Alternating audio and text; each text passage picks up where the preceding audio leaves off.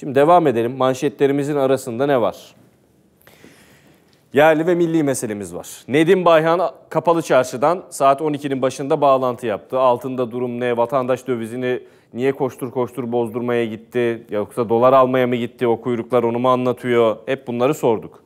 Şimdi bankaların işte nakit avans hususunda bazı kısıtlama kararları birkaç günde hemen hızlıca geri adımlarla şekillendi. Şimdi bugün şirketlerden gelen bilgiler işte likitte sorunu var. Ee, dikkat, harcamaları dikkat, biraz vanayı kısıyoruz gibi personellerine talimat verdikleri iddiası da gündeme kondu. Şimdi milli paramız ne? Manipülasyona yol açmamak için daha fazlasını hep iddia mekanizmasıyla göz ardı ediyoruz. Ama elimizde somut veriler var. Milli paramız eriyor. Dolar yeni seviyesinde.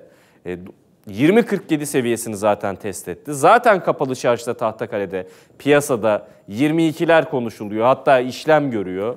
O yüzden farklı makasları konuştuk. Şimdi yerli ve milli meselemizi ben seçim sonrasına ilişkin sormak isterim. Kime soracağız?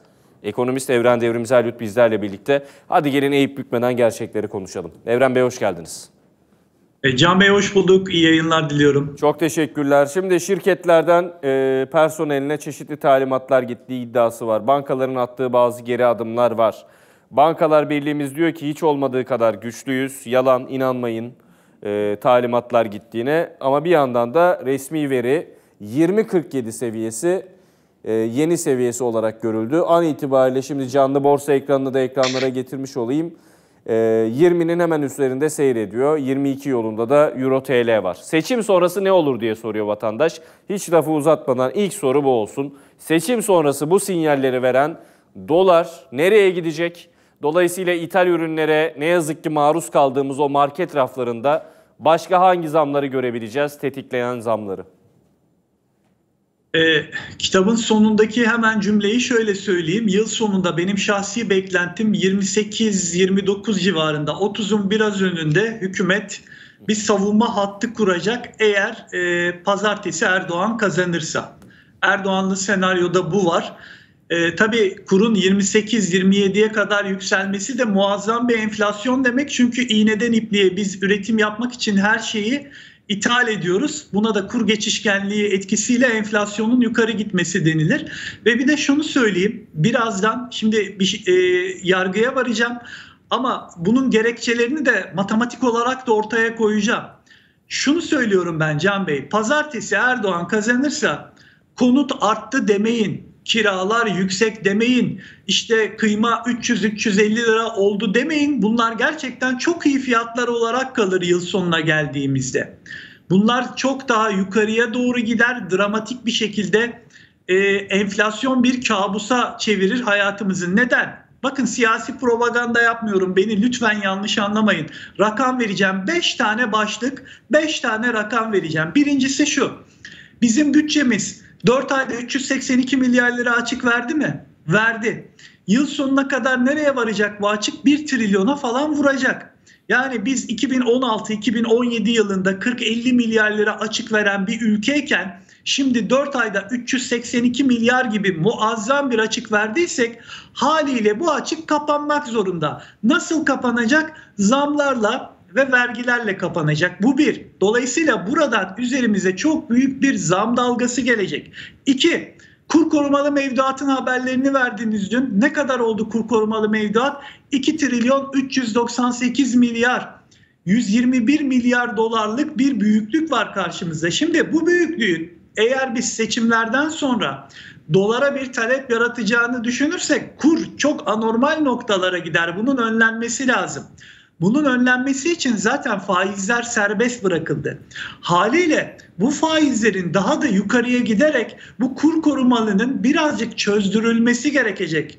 Ve faiz arttığı zaman bunun maliyeti kime olacak? Şu an bizi izleyenlere olacak. Yani hem ticari krediler hem tüketici kredileri yukarıya gittiği zaman e, ticari kredi yukarı gittiği zaman bu ne olacak? Ürüne zam olacak, karşımıza gelecek. İkinci gerekçemi de söyledim mi enflasyon için? Üçüncü gerekçe, rezerv anlatıyoruz, konuşuyoruz, canlı yayınlar yapıyorsunuz. E, ayın e, 24'ü itibariyle analitik bilanço 19 milyar dolar eksi, 18 Mayıs itibariyle 60 milyar dolar eksi swap'ım var. Toplam kasa eksi 79 milyar dolar ve dönüp baktığım zaman 203 milyar dolar borcum var. Bakın para bitmiş, sıra altınlara gelmiş.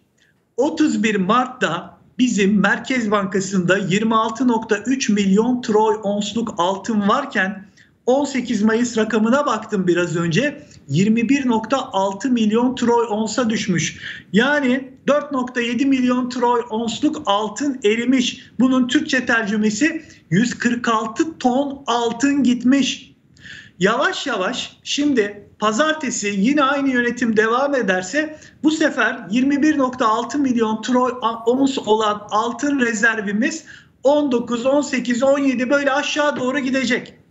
Ya benim 20 yılda gördüğüm Can Bey olay şu. Bakın 70-80 milyar dolar özelleştirme geliri gitti. 128 milyar dolar rezerv gitti. Onun üstüne yine şirketlerden 150 milyar dolar rezerv gitti. Bakın bütün bunlar AKP ekonomi politikalarının yanlışında ısrar etmesinden dolayı ve yetmedi.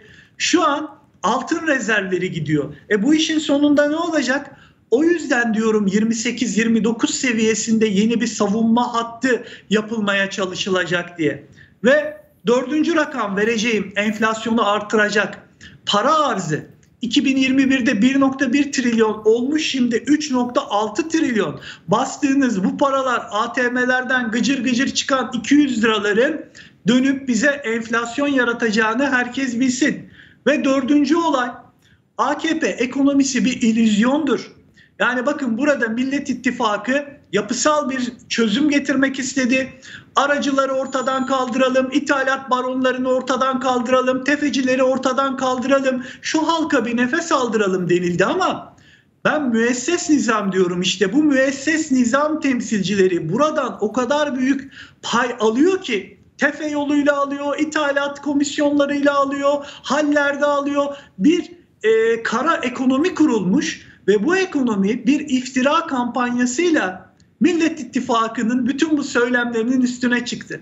İşte görüyorum bir pazarcı kardeşim çıkmış yukarıdan İmamoğlu'na sen PKK'lısın diyor.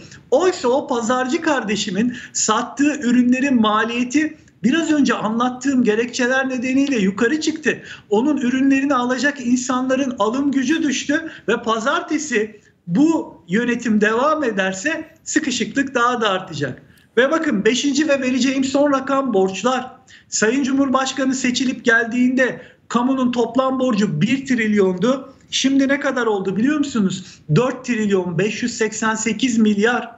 Yılın başında 4 trilyondu. Şimdi 4 trilyon 588 milyar oldu. Şimdi vatandaş tabii bu rakamları görmediği için işte vay efendim bir iftira kampanyası Millet İttifakı HDP ile beraber ama arka planda bir ekonomide çöküş var ya da yürüyen bir ekonomi, e, işleyen bir devlet çarkı gördüğünde diyor ki ya işte muhalefet anlatıyor ama bir şekilde çarklar yürüyor. Çarklar yürüyor lakin elimizde ne maddi ne manevi değerler kaldı. Hepsini sattılar, savdılar ve borç Bakın 4.5 trilyonu aşmış. Bu borcun faizini kim ödeyecek pazartesiden sonra?